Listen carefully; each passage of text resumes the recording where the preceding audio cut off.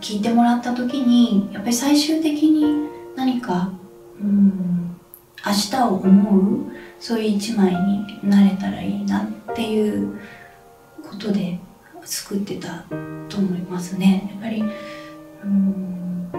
時代の空気みたいなものが必ず入ると思ってるのでアルバムの中には自分もこの時代に今生きていって生活をしながら音楽を作ってるからうんその中でこう感じるどこか、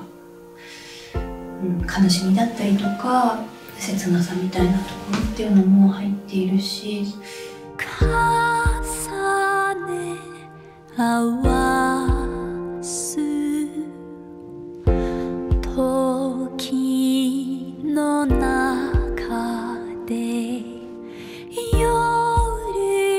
を追い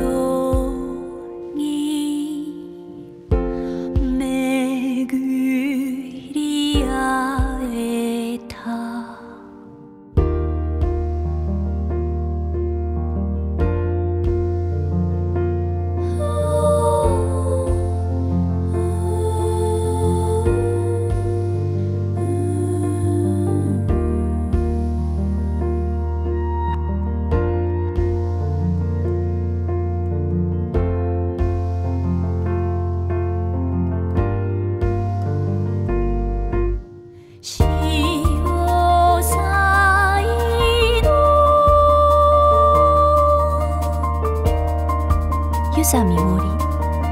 潮祭